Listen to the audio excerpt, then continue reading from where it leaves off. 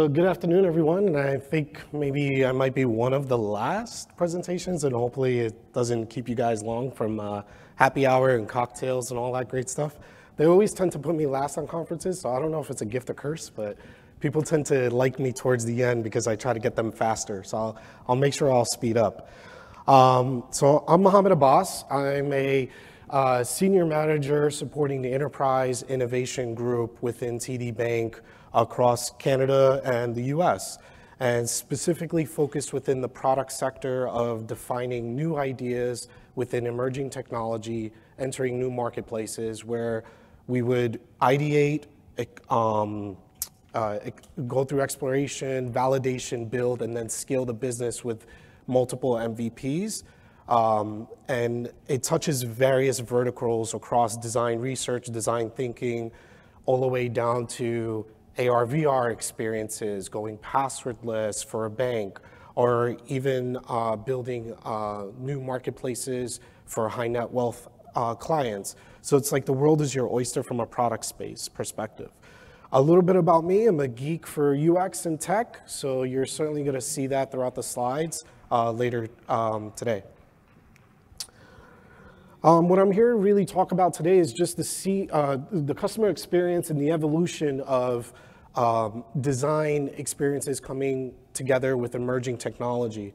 So if you can imagine the world when it comes to banking where it's radically open and it's connected to every embedded uh, engagement across various applications. So think about your Amazon shopping where it's easy for you to check out or even when you're walking around with your Google or iPhone, uh, Android or iOS device and you're easily able to tap to pay or even set up a buy now, pay later just right from your couch when you're making a purchase.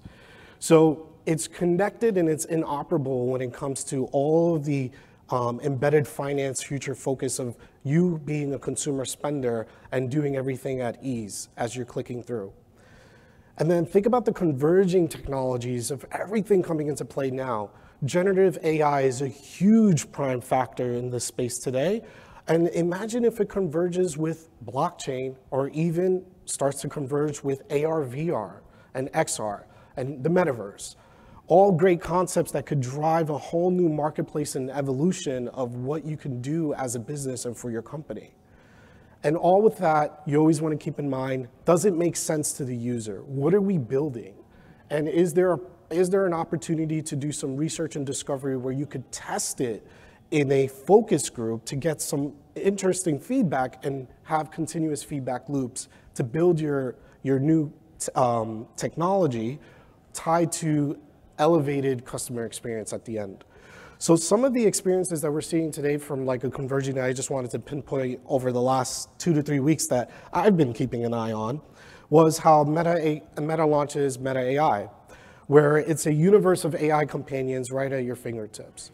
So imagine the empathy about using a companion um, right at your fingertip where you're able to conduct any conversation with it and it's having an alias um, a-list celebrities turned into alias or split personality uh, companions. So you'll see Kendall Jenner there, uh, Odell Beckham Jr., and they're all split with different names, or Tom Brady and such.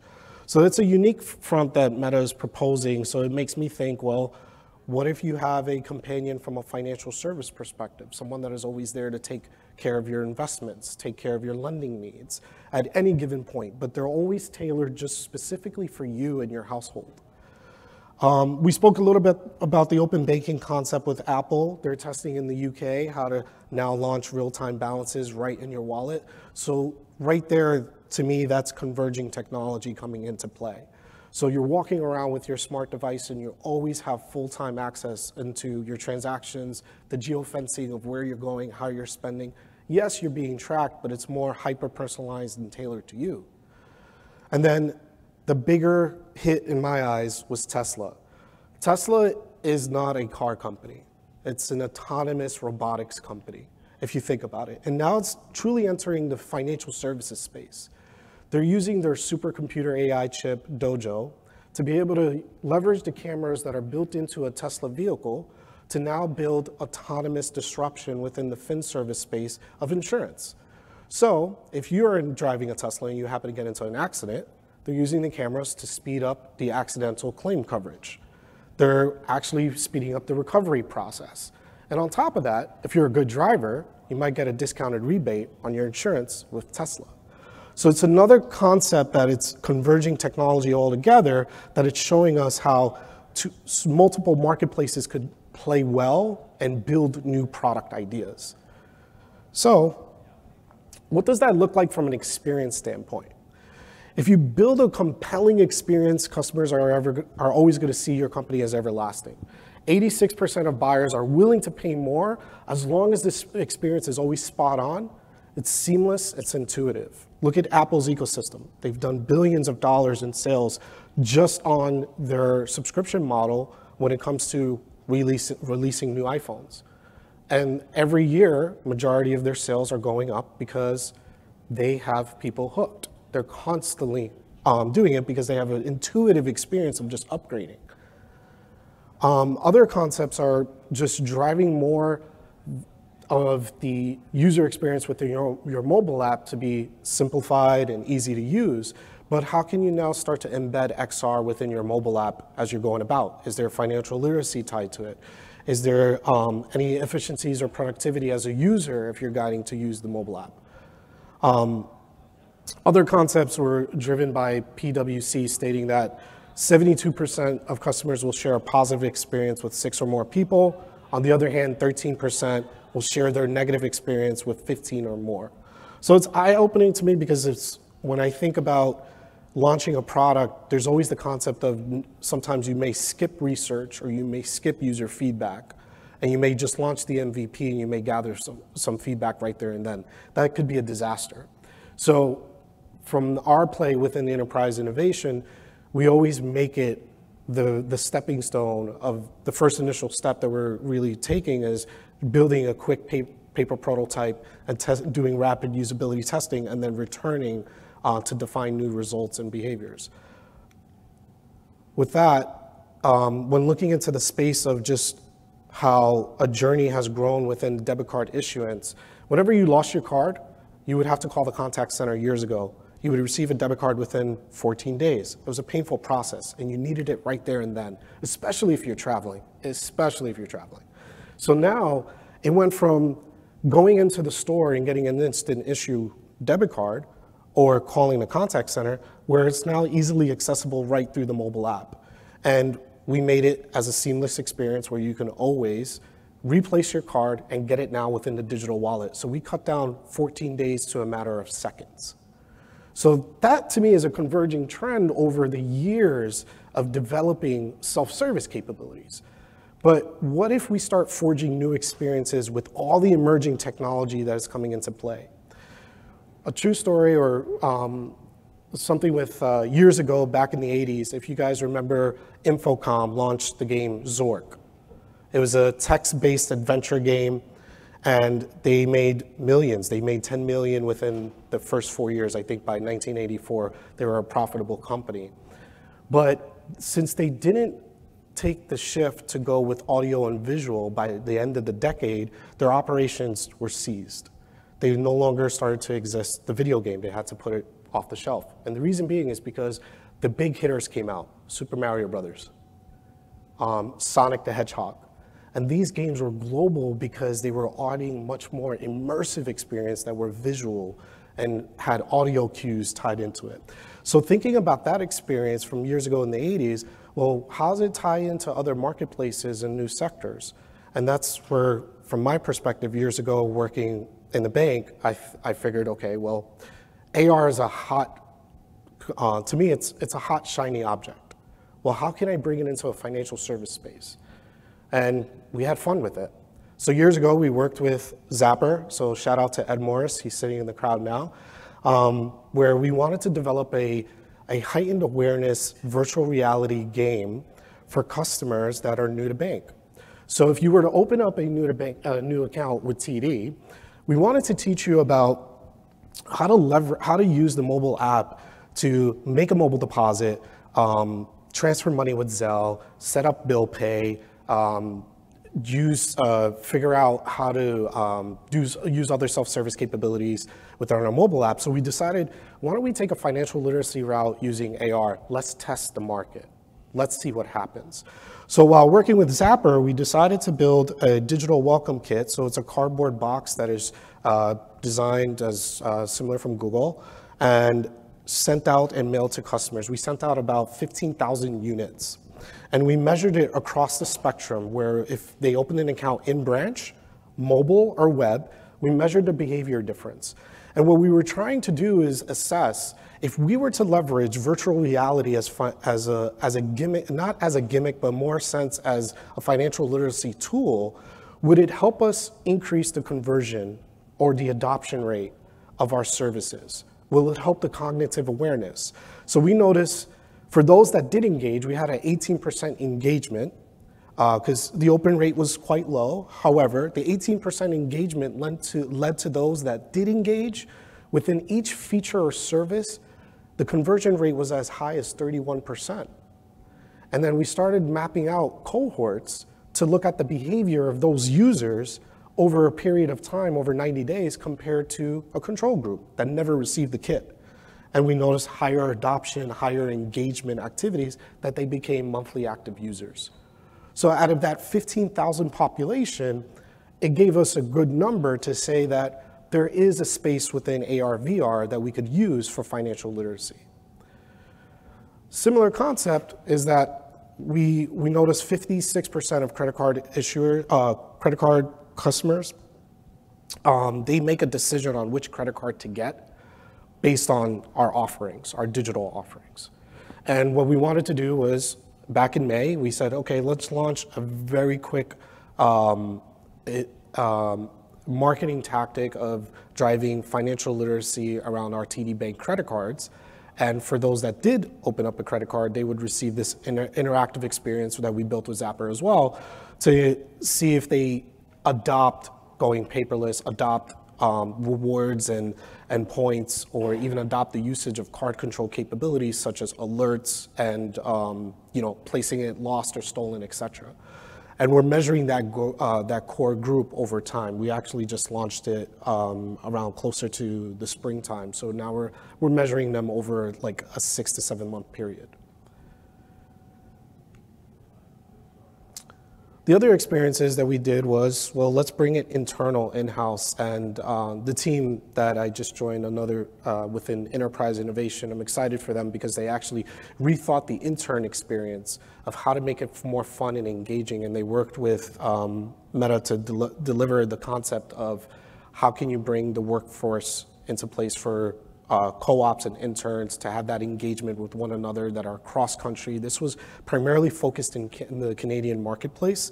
So in Canada, they launched this for all co-op and intern, where they got um, at least results back that 93% felt compelled to recommend um, AR and VR to their friends and colleagues as a tool to leverage for getting to know one another and also just having meetings or basically learning about the company culture right through a VR experience. They felt that they weren't, um, there were no barriers or uh, distractions if they were on Zoom or Teams or conference or WebEx, et cetera. So this was a great initiative that we led. Now it's used by our early talent team. So whenever you're hired through the bank, it's part of the process that you would go through a VR experience. And then Going now into the converging tech, um, I mentioned the AI companions. So I was trying to measure the, the, the framework of like, who's gonna actually speak to an AI agent or a companion? And right before Meta released it, I kind of went back and I wanted to see if another company was doing this, and actually it is. Uh, there's Character AI, which is a chatbot interactive experience that you can select your favorite character um, or celebrity or any mimic, um, someone that you want wanted to mimic precisely, and tailor it to be an AI agent just for you. So Character AI launched this, and in a matter of eight months, uh, they saw 19 million monthly active users. That growth is tremendous for an eight-month scale. So that led to the assumption that, okay, is this a new experience that we could look to build? And with that, we took it back to start focusing on the emerging channels and get a little bit creative to see could you build connected experiences by taking our chatbot, revisiting it, and personalizing the chatbot with a new user interface, a human OS, a digital person that can speak to you, engage, deal with any of your um, services or your maintenances from a financial service perspective, and guide you. So with this human OS, um, this is designed by Soul Machines. Uh, we're exploring just a prototype, um, nothing too crazy. It's not launched, but it gives us, it opens up our eyes again, just like it did with AR VR. So now what are we doing with generative AI when bringing it to a different user interface and it's not text anymore. It's not text anymore from the past couple of weeks. GPT-4 has done phenomenal work where you can even upload photos and it'll describe to you what's going on in the photo or uh, someone demonstrated how to fix a bike and it guided them. So user interfaces are more than likely to change and putting in the practice of that human-centered design would give you the ability to get creative and then do something as fun and exciting that I could show you the prototype today. Uh, see if this works. So you can't hear her.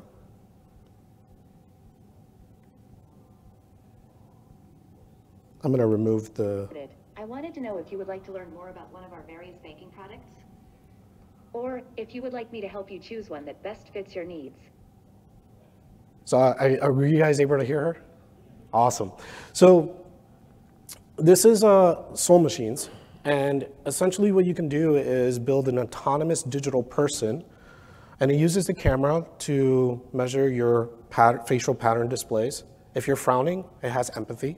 It'll ask and say, oh, did I say something wrong? Did I upset you in any way? And it has, it's tied to uh, your AI LLM model. Um, it can have a full conversation with you. So in the aspect of a product recommendation, if I wanted to learn more, like she's nodding right now because she's looking at me and she's engaging. So if I keep nodding, she's going to keep do, um, doing the same action as well. So if I wanted to know, um, let's say I'm a new to bank customer and I'm just logging in online and I want to know product recommendations. Um, can you tell me about your TD convenience checking account?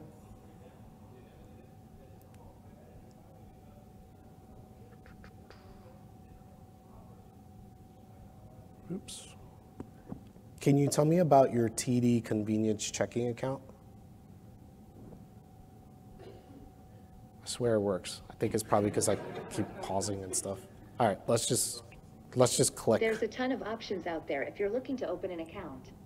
What would you like to learn more about? Checking. TD Convenience Checking is a great checking account option. It offers low minimum daily balance requirements and other perks. Here are a few of the features it offers. Which is pretty neat because it could actually give me a rate quote too later. Or are you ready to start the application? So the concept here is how would you envision this across other spectrums, not just a mobile application, but even in branch? This is actually done in Dubai today. Um, there's certain flagship banks that actually have a digital person that is a facilitator and a guide. So if you step into the branch, you're actually greeted by a digital person. Um, Citizens Bank launched just last month a very creative um, uh, new experience.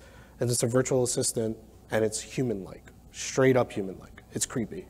Um, she's more creepy, but it's in the flesh that as you're walking up to the ATM, you're getting assisted by an actual person, but it's all AI. So that leads into us having the intention of can we explore and how do we do that? So for us at TD, we give full autonomy within the enterprise innovation to centralize all creative solutions and ideas, and we ideate until we build out unique experiences and we find that it's compelling and it's new to our marketplace. And we go through the ranks of just exploration, validation, build, build an MVP, test, continuous learning, and do it in a safe space. We had a lot of exciting opportunities that we, um, well, exciting accomplishments when we worked with Zappar. We held a design sprint, came in to our Philly lab, and just built out a lot of our AR experiences together. And we learned about the space as well because they're leading in the industry. So all, with all that said, I think it opens up our eyes that the future of technology needs a space for customer experiences as well. And we haven't spoken about that yet. We always said, what could it do? But do customers really need it? And what does it look like? That's it.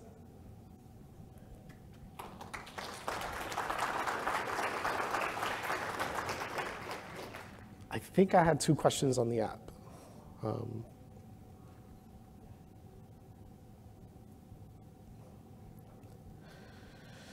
so how does TD Bank measure the ROI and the impact of its uh, XR initiatives on customer experience and business outcomes? So I think I spoke about that a little bit earlier, and I'll touch on it again.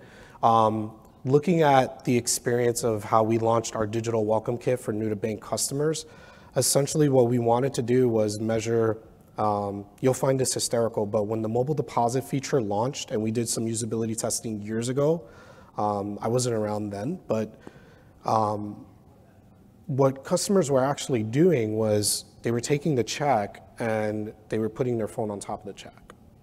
They were thinking that the check was going to just transfer in. The other was you see the crosshair with the green corners around the check? Just to get that at the very beginning of time when it first launched, and you probably experience it today if you have to scan your credit card and it's painful because you got to pan in and pan out, the failure rate there was probably around 60%.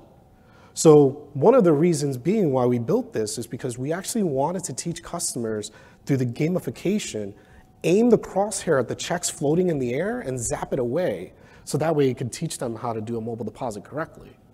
And then overall, mobile deposit, I mean, a deposit in store costs us about what, $2 or some change? So the cost savings of converting that user to do a mobile deposit would show us a significant amount of savings worth.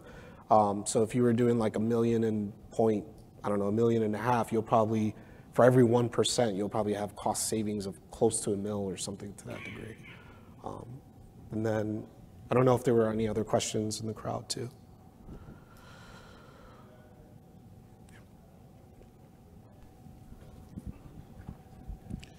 Mark Strayer from Sam's Club. Um, that demo that you just showed, which was awesome. Thanks. Um, any issues when you're testing it where you have, they have to turn on their camera, right? And so, kind of, is there any, have you run any issues with that where you're like, it's not really a person, I'm turning on my camera, I can't see myself, but it's watching me? Do, do, is there any affordances so we, or things that you have to, to take into account? We haven't done um, any usability testing just yet. But us playing with it internally, it could get finicky, as you can see earlier, right? And I think it depends on the microphone or what it's picking up and sort. For us, the, the nature of it is how do users at the end of the day or people, like how, how do they feel speaking to a digital avatar as opposed to a real life human?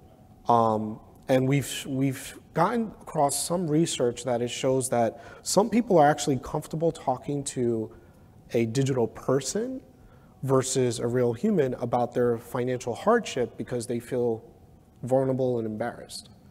So that's one way that we can test it out, but we're still exploring like what's the right method to test it safely where it doesn't scare the heck out of people and then ruin our brand and the reputational impact is huge where we could just play into the space of maybe do we explore the Gen Z population? Is this something that would be catered to them? Because they're always on the go, they never want to see anyone. So would they be open to that? So I think that's where we would lead from a usability perspective. So I have a couple of questions on this. Uh, it's very interesting, um, not just from a user experience, uh, but from a, you know, learning and going through several procedures. Uh, as a manufacturing organization, we have a lot of standard operating procedures, specifications for maintaining equipment. I see this as being able to uh, bring those up quickly when somebody is looking for something, right? Um, did you use GPT-4 as the backend of this, or did you build your own? The digital person. Yes. So the digital person provides you with um, the company is called Soul Machines, and they do the autonomous design of what you see. The backend, you can connect it to your LLM model or you could have you can have a proprietary or uh, build, um, you know, buy. And what we did was we just just to test it out for now, we had it scrape our public site information, so all of our FAQs, so that product recommendation question that I was going back and forth with her, that's on our public site. So any general information, it's pulling from there. So the back end is designed with a hierarchy to reach out to TD's public site first, gather all the data. If it doesn't have that information, then go to the next intent of what we built, our library of FAQs, that's probably not hosted anywhere, and we hosted it on, on the back end. And then last is actually, I have another model where it, it was connected to ChatGPT, uh, just to test it out. So you'll see a huge pause when you're asking questions and it goes through the hierarchy. If it has the answer through your library, it gets it right away. But if for fallback intents, we had to connect it to ChatGPT just to see how it would work out. You know how you enter a question in ChatGPT if you've used it? It's a little bit of a delay to get that response. There's a major delay in her response. And then you also get the lengthy novel. So you got to build the guardrails around it. Um, it's capable of building guardrails around ChatGPT and using it, but you still have to make it safe and regulated and such. So yeah. And to follow up on that about content, if you point it to your own library of documentation or content, is it able to read it, not just give you a reference, but give you a link to exactly where in the document paragraph where it found that content? Yeah, it could certainly do that. Awesome. So a lot of LMO, like a lot of uh, GPT models now could certainly do that um, if you wanted to.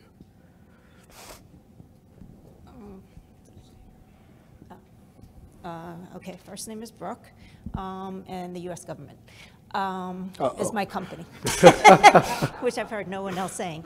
Um, So I'm going to ask an odd question, okay? So everything I've been seeing and uh, a lot around here is the um, users interfacing and stuff like that. Are you actually looking into or doing anything virtually inside um, TD where it's analyzing, like you, you mentioned all these stats and stuff. Are you actually using virtual reality for those number type things and doing behind the scene type things? Yeah, To analyze, you know what I'm looking at the time of time spent on it, right? Uh, how- No, no, no, no, I mean actually using virtual reality and data layering of your data type stuff. We're not there yet. Okay. No. Um, it is an interesting concept, but we haven't played within that space yet. The only internal that we've done, honestly, was just the co-op and interns, but there's the concept of data visualization and try to see where, where we could play as a bank. We haven't explored that yet. Yeah. I think we're over on time. Awesome. Thank you, guys.